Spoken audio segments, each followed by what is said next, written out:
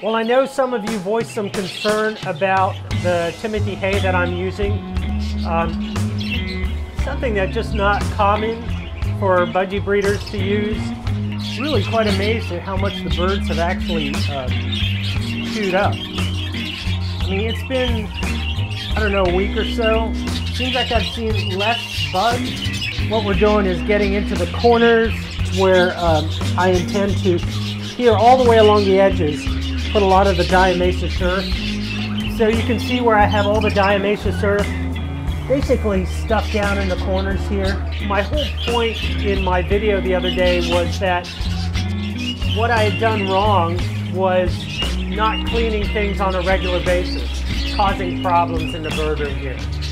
Uh, and that's basically where I got my uh, beetle infestation.